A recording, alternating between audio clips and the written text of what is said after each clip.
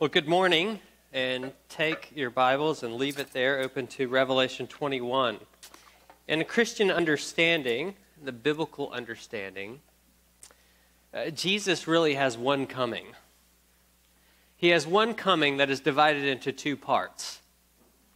Uh, there is one day of the Lord. It's a day which began when Jesus came in his incarnation. It's a day which will be completed when he comes again. Uh, one coming, one day, two parts. And what we're doing is we're looking in a little mini series at what will happen when, when he completes his coming. What will happen when he comes in that second part? And that's what we're that's what Revelation 21 and 22 are all about. Let me pray for us as we look at this text.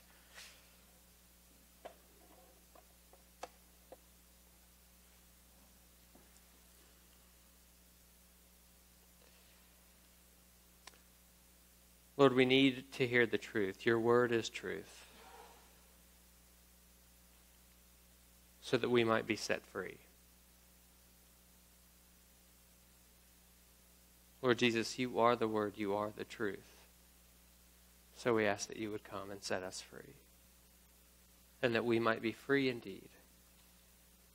Amen. Well, it was the end of high school, and my mom decided that she wanted to make a scrapbook for all the years of my life up until that point. Many people do this, right? The senior year scrapbook. And so uh, it was for months, there was this room that had pictures out all over it. Well, not really months, years. I didn't get that scrapbook until I finished college because she was working on it intently for four years. She just started it and couldn't finish it. Uh, but one day I was going into that room and I wandered in and I saw one of these pictures, and it was a picture of me and several friends who I was graduating with. And it was a picture of us from fourth grade. And as I looked at that picture and saw us, and it was a swim party, and we were all swimming and that kind of thing, I looked at our faces and I looked at our statures and all that, and I thought, oh, isn't it interesting the ways in which we've stayed the same and the ways in which we've changed? And it got me thinking, thinking back, got me thinking forward, and I thought, oh, what will we look like in 10 years at our 10 year reunion?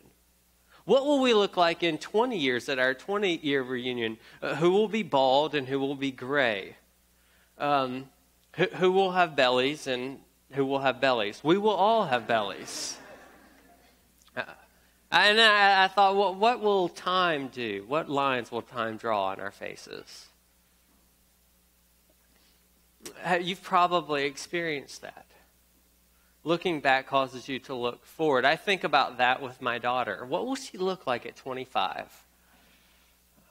Will her cheeks be round and plump, or will they be square and chiseled? How tall will she be? Will she be taller than me? A legitimate question for me to ask. These are, are questions that, that we think about. And perhaps you've thought about this. Perhaps you've thought about it with yourself. What will I look like as the years go on? Well, it, here in, in this text, we find out something that about what we'll look like. The Bible says, I tell you a mystery. We will not all sleep. That is, we will not all die, but we will all be changed. That when Jesus comes again, we will all be changed that God will change us, but what, what will we look like? What will He change us into? Well, the picture is right here in the text that was read for us earlier. In verses 9 and 10, John, the apostle, is carried away by an angel up to a high mountain. And the angel says, Come, I will show you the bride, the wife of the Lamb.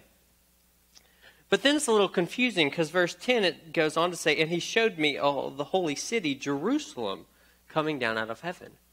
Now, what's happening here? Did the angel get confused? I will show you the bride, the wife of the Lamb, and he shows him a city. We expect to see a bride, and yet we see a city. What is going on here? Well, in John's imaginative world, the bride is the city, is the bride.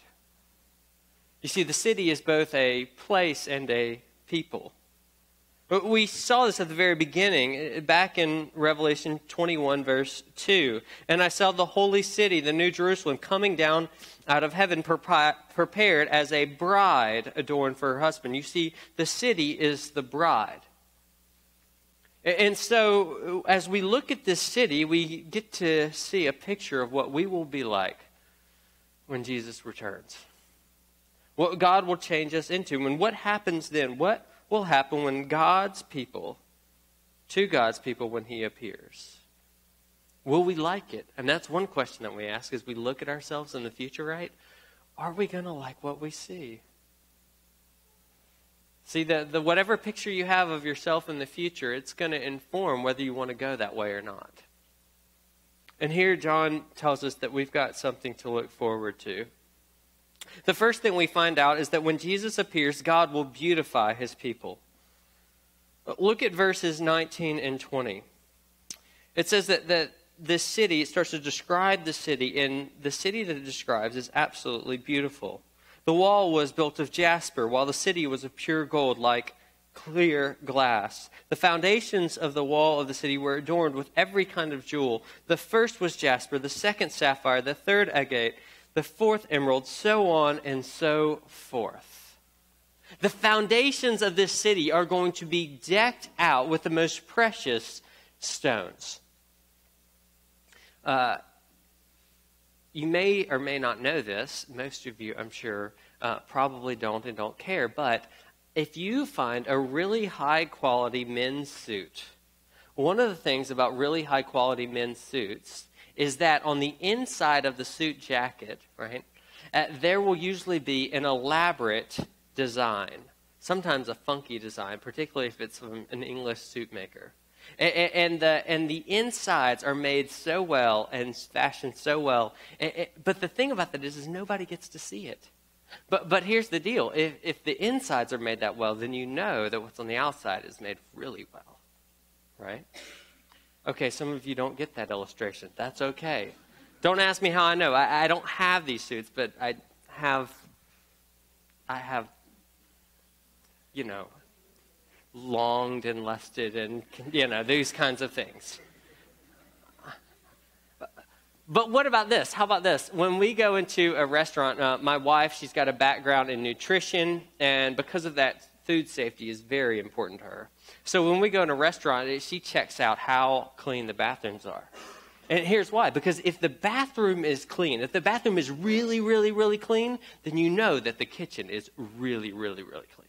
If they take that much care with the bathroom, then how much care are they going to take with the kitchen, you see? And here we have a city whose foundations, who sees the foundations of a house?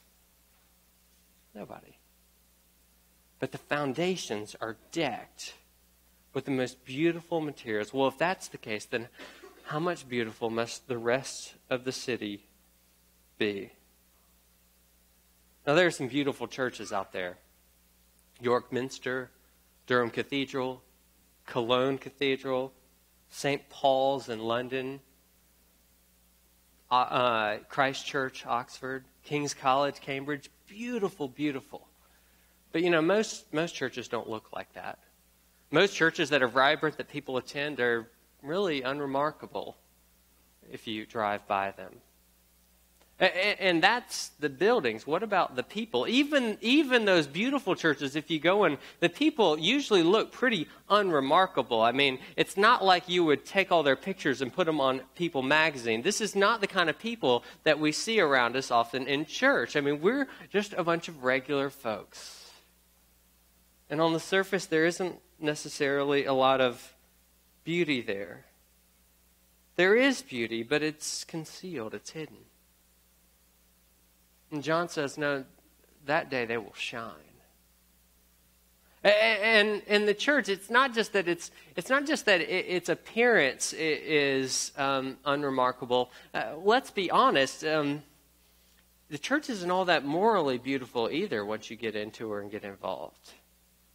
I was talking to someone the other day and asked them if they had been at church lately and where they were attending, and, and they went off for probably five minutes complaining about how awful people in church are and how uh, how uh, grossly immoral Christians in Santa Barbara are. And, and as I listened to this person, I thought, I can't really disagree. As I look at my own life, as I look at other people's, I'm not what I should be. We're not what we should be. And I, I thought about that. And yet, and yet John says, we will be beautiful. Brilliantly beautiful. Uh, that we will turn heads. And where does this beauty come from? Look in verse 11. It says that they have, the city has the glory of God. Its radiance like the most rare jewel, like jasper, clear as crystal. Now, when it says that it's like jasper, that's significant because earlier in the book of Revelation, Revelation 4 3, we learn that God's appearance is like jasper. In other words, when, when John describes this as being radiant like jasper, clear as crystal, what he's saying is that, that the church will radiate with the very beauty of God. That's how she will be. 1 John chapter 3 verses 2 and 3 says this, "Beloved, we are God's children now. And what we will be has not yet appeared. But we know that when he appears, we shall be like him, for we shall see him as he is." We know that when he appears, we shall be like him. We will reflect his own glory. And this affects how we conduct ourselves, how we view ourselves, how we conduct ourselves. Because John goes on to say that everyone who hopes thus, everyone who has this hope in himself, purifies himself just as he is pure. See, are you being what you are going to be becoming? Are you being what you are becoming? Are you living into what you will be? Are you acting out the beauty that God is going to turn you into. That is what this call is for. To con- it changes how we conduct ourselves. It also changes how we conduct ourselves in relation to others. C.S. Lewis, in his little essay, The Weight of Glory, said this It is a serious thing to live in a society of possible gods and goddesses. To remember that the dullest, most uninteresting person you talk to may one day be a creature which, if you saw it now, you would be strongly tempted to worship, or else a horror and a corruption such as you now meet, if at all, only in a nightmare. All day long, we are, in some degree, helping each other to one or the other of these destinations. It is in the light of these overwhelming possibilities, that is, these overwhelming destinies, it is with awe and circumspection uh, I'm sorry, it is with the awe and circumspection proper to them that we should conduct all our dealings with one another. Do you, do you hear what Lewis is saying? Lewis is saying that, that if you saw a person today, a Christian today, in their glorified state, you would be tempted to worship them because of what God is turning them into. See, this should absolutely transform the way in which we view one another and how we conduct ourselves with one another. You see, we love one another not based on what we look like now. Oh, no. But ba- based on what we know God is going to turn us into. And we continue to keep that vision of the other person in our mind and on our horizon in all our dealings with them. We say, I see what God is going to make you into. And therefore, I am going to deal with you such and help you along in that direction. But if this is true for us as individuals, it's also true for the community as a whole.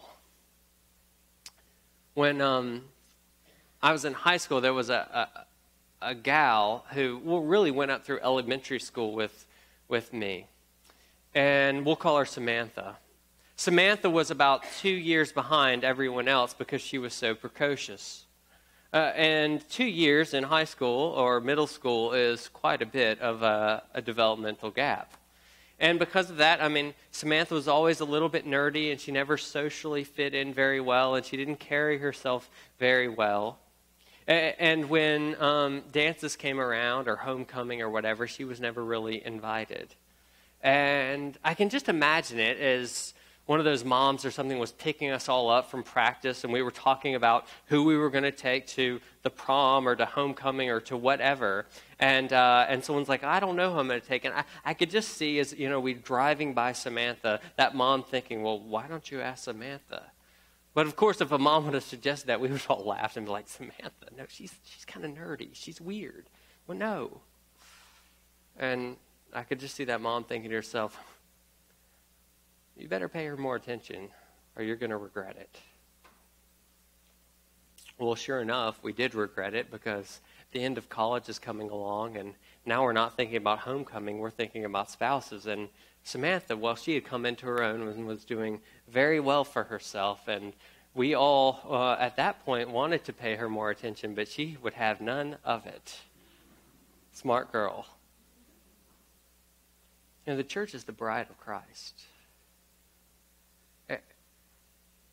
And she will be beautiful. And if you don't start paying her more attention, you're going to regret it. If you don't start investing in her, you're going to regret it. If you better stop ignoring her or you're going to regret it. You better pay her a little more attention or you're going to regret it. You better stop finding excuses not to identify with her, or one day you might find that she won't identify with you in all her glory. See, this, this is the church, warts and all. But God is turning her into something beautiful. Beautiful. And she's worth investing in. So, first, when Jesus appears, God will beautify his people. Uh, second, when Jesus appears, God will unify his people. If you have a Bible, this wasn't read, but look back up in verses 2 and 3. In 2 and 3, John sees this one bride. Uh, but then in verse 3, it says in the English something like this And I heard a loud voice from the throne saying, Behold, the dwelling place of God is with man, and God will dwell with them, and they will be his people, and God himself will be their God. But that doesn't quite capture what the text says in the original language. It actually says that God will, be, um, will dwell with them and they will be his peoples, and God himself will be their God. In other words, this one bride is going to be many peoples. Now, that doesn't make for good English, but it makes for great theology. Because here's the point on that day, God will unify his people into one bride, but without eradicating diversity. You know, we are a people today, we are a country today, we are a world today who is divided against itself. We are politically divided. We can barely keep our government going. Uh, we are racially divided. Uh, just read the headlines and think about the aftermath of Ferguson and New York. Think about the reactions. We are a people who are racially divided. And, and this isn't simply a localized problem. I grew up in Memphis, Tennessee, and the racial tensions there were very, very high. Uh, in 2002 2003, I lived in Austria, and the government shut down because of ethnic tensions. When I was in St. Louis, well, you know that there are ethnic and racial tensions there. I had two friends on separate occasions who lived in Boston tell me about one Caucasian, one Asian tell me about how bad the racial tensions are there. You see, this is not a localized problem. Uh, nor is it a modern problem. Uh, in the New Testament, we see page after page after page of ink being spilt on this racial tension between Jews and Gentiles. Just think about it. Acts chapters 9 and 10, 15, Romans chapter 2, Romans chapter 11, Romans chapter 14, Galatians chapters 2 and 3, Ephesians chapter 2, all about racial tensions between Jews and Gentiles that are going on in the first century world. You see, this is not a modern problem. This is a ubiquitous problem. And it goes back to when Adam and Eve first took the fruit and they ate. And then they could not handle difference. Difference looked like a threat. Difference was looked on with suspicion, and so the man blames the woman. It was the woman, this other person, the different person who you gave me. And then what happens with their children, Cain and Abel? Well, they couldn't handle difference either. The difference between gifting and vocations caused jealousy and death. You see, this is a human problem because ever since the fall, we do not know what to do with our difference, and we can't live one, with one another in it. And so, while difference is not a problem, it's not a problem for God. It is a problem for us because it is the very place where our sin latches on and takes root and acts out in the world. And one day, someday, one day, someday, when Jesus returns, God is going to eradicate our division, but without eradicating the difference. All the nations bring their glories into Jerusalem, and the nations represent the world in all its diversity. See, difference is not a problem for God, but it is for us. You see, one day, racial divisions and the gender divisions that we have, and the nationality divisions that we have, and the upbringings, these very places where sin takes root and comes to life in our lives, Romans, uh, Revelation 21 says that God will eradicate all this. Theologian who works at Duke named Stanley Hauerwas says this that church is constituted as a new people who have been gathered from the nations to remind the world that we are, in fact, one people. Gathering, therefore, is an eschatological act, as it is a foretaste of the unity of the communion of the saints.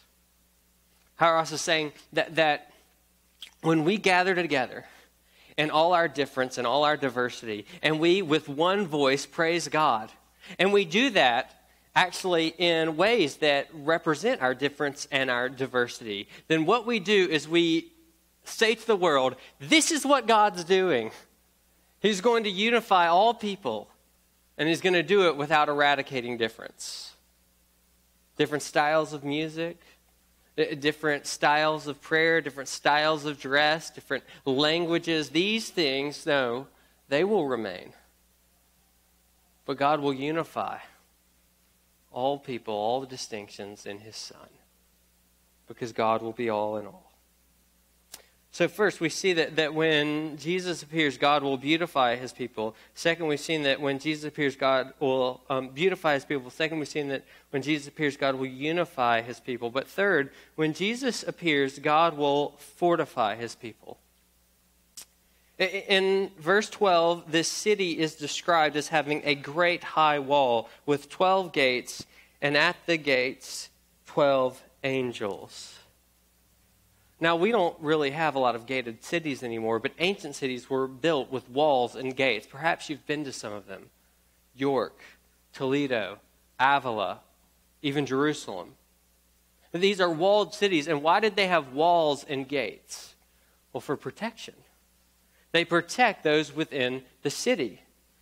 And so when this talks about this, uh, when this text talks about um, gates and thick walls, I mean, hugely thick walls, and, and angels there, warrior like beings there, it's saying that, that this place will be a place that is protected. Protected and preserved. Uh, in verses 15 and 16, we're told that this is an interesting thing that, that John is to take, or the angel takes this measuring rod to measure the city. Now, what's that about? Why do we get all these verses about measuring the city? Well, measuring in the Bible often has to do with preservation. Uh, for instance, look in Revelation chapter uh, 11, verses 1 and 2. Uh, there, John is told to rise and measure the temple of God and the altar and those who worship there. And then it says this But do not measure the court outside the temple, leave that out.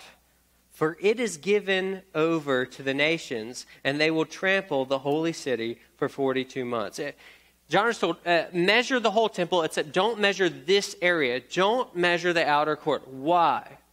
Because it won't be preserved. See, everything that's measured is preserved, but the bit which isn't measured, that's not going to be preserved. So when the angel in chapter 21 gets the measuring rod out and measures the entire city, what he's saying is this entire city will be protected and preserved. In other words, there will be no chance of a second fall. No threat of sin or death or Satan or any of the things that threaten our lives today. That's why the sea is no more. The sea is that place from which the enemies came. The enemies from the west came in the Mediterranean. That is what the sea represents. And there will be no sea because there will be no threat. And who? Who will God protect and preserve? Well, notice that in verse 12 it says that on these gates there are the names of the 12 tribes of Israel. And then in verse 14, it says that on the foundations of the city were the names of the 12 apostles.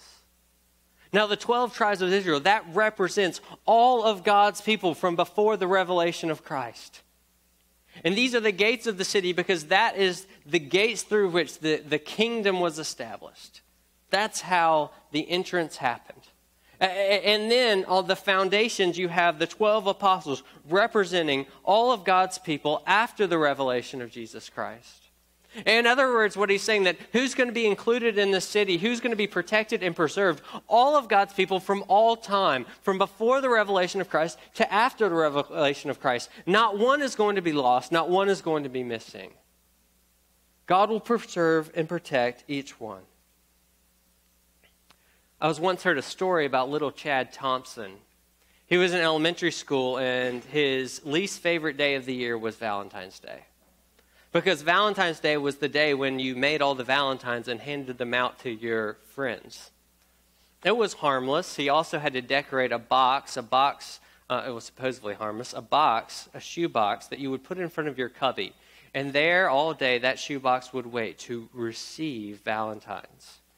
And he hated that day because he never got a lot of Valentines.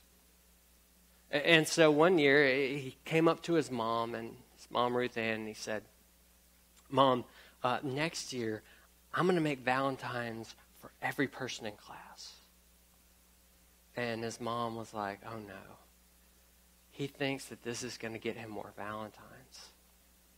Oh no. She was just prepping for the disappointment and the, and the hours of counseling that she would have to do uh, with Chad or pay for afterwards. Uh, I'm still going to counseling for this. But he, he, he poured himself, his blood, sweat, and tears into these Valentines, and he made them, and he went off to school. And he came back at the end of the day that day. And, and his mom, Ruth Ann, she went out to the bus stop and she saw all the little kids running off the bus, and they all had their Valentines in their hands. And Chad came off, and he didn't have any. And her heart sank, and she thought, oh no, oh no, no, no. And then he looked at her and he said, Not a one, Mom. Not a one. And then he smiled and he said, I didn't miss a one. I gave them all away. I gave them all away. Uh, mission accomplished. I got every one in the box. Every one. I gave them all away.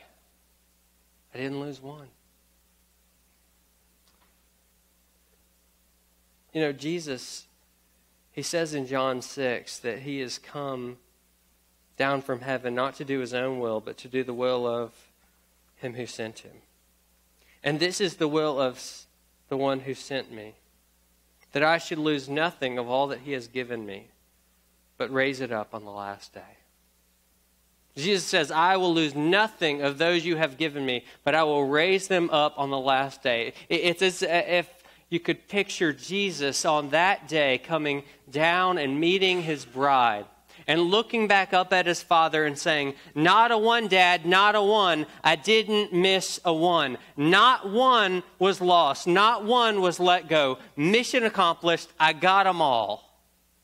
Every one that you gave me. I got them all. See, God won't lose you. He will protect you and preserve you forever. Not a one.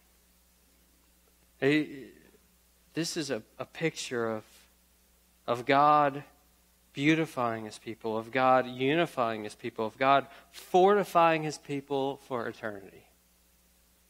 And finally, when Jesus appears, we see that God will satisfy his people. Three times in this text, we read about the water of life. At chapter 21, verse 6, it says, To the thirsty I will give him from the spring of the water of life without payment. Chapter 22, verse 1, it says, Then the angel showed me the river of the water of life. Uh, chapter 22, verse 17, And let the one who is thirsty come, and let the one who desires take of the water of life without price. Now, we're all thirsty for this water. We just don't call it thirst. We call it dissatisfaction. And it looks like this it's the dissatisfaction that searches that uh, sends us searching for the perfect car, the perfect house, or the perfect companion, or the perfect job. It's the it's the reason that we are so restless, restless on vacation, it's why we move from often one career to the next, one major to the next, one, uh, one partner to another. And it's that reason that we have that sickening suspicion that when we get what we're after, it still won't satisfy. See, we're all thirsty. We're all thirsty one of the most played songs over the last uh, two years has been that song Happy by Pharrell Williams, who I don't know if you know this, he is the opposite of Will Ferrell. I don't know how that works, but you can have cousins and opposites. Pharrell Williams. I should run these by people, shouldn't I? Yes. Anyway, it's the song Happy. Uh, it's titled Happy. I think it, it was mistitled. It should be titled Annoying, but that's just me. And as it's uh, being played, everybody sings and dances, and everybody wants to be happy. And it's tapped into something that is this desire, this obsession we have as a culture to be happy. We are all in the pursuit of happiness, but we don't want the pursuit of happiness. We want happiness. We want to achieve, we want to arrive, and more than that, we want to be satisfied. To be satisfied. Uh, we want to be completely contented. And few are the times in my life where I've sat down and haven't thought about the next thing that I need to do, haven't been anxious or restless about the next thing to accomplish or what I can go get to make my situation better, few are the times when I've just been able to sit contented. And they were beautiful times. And we're all after those times. But when we have them, they still dissipate. See, we want something more. We want something that lasts forever. Well, this water of life, this is God coming to satisfy his people forever. And how is he going to satisfy them? I mean, what is this water of life? What is this living water? Well, in John 7, Jesus goes to a feast. And when he's at the feast, he stands up and he says, If anyone thirsts, let him come to me and drink. Whoever believes in me, as the scripture has said, out of his heart will flow rivers of living water. And then John comments, Now this he said about the Spirit. What is the living water? It is the Spirit. It's God Himself pouring Himself into you. And now we taste it and we are satisfied to a certain degree, but we taste it. Uh, it's like we have a water fountain. And you go to a water fountain and you drink, and it quenches your thirst, but, but but you have to go to the water fountain and it's only coming out in drips and drabs and not completely. But but that day oh, what will it be like when we are able to drink from the fountainhead to dive into it to swim in it? That's what he is describing. When god will enter you and fill you with himself and he will be all in all. You see beneath every other thirst that we have is a thirst for god and, and as our bodies need water, so we need God to live. Have you got that yet? That the thing that you're most thirsty for is God? That the thing that you need and desire and the only thing will satisfy you more than anything else is this? To see Him as He is, to be like Him, to drink from all that He is? Well, when you do, here's what starts to happen. Here's how you can tell. You stop chasing every other little thing to be satisfied. And you, you start to feel this kind of ache in your heart for his return. I have a friend that signs every one of his emails, Heaven Soon. See, that, that is a man who knows where satisfaction ultimately comes from. And he is longing for it. See, what happens is when you start to realize this, you start to have this ache within your heart for Jesus' return, and, and, that ache gives rise to a prayer. It's a short prayer, it's a simple prayer, it's a prayer that you say over and over and over again Come, Lord Jesus. Come, Lord Jesus. Come, Lord Jesus. Come, Lord Jesus. Come, Lord Jesus. Amen.